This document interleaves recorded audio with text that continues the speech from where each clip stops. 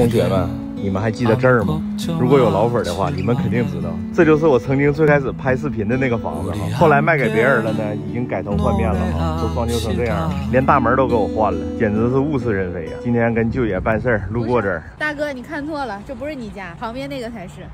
啊，这是麦克家，麦克家白感慨了，一点没变，房子都卖了，他门口那鸡还没扔呢。同学们，你们还知道这儿吗？有老粉的话，你们肯定知道，这就是我曾经拍视频的那个房子。我还记得那是二零一八年的八月二十五号啊，就是在这个房子的后院，我开启了我人生当中第一条抖音。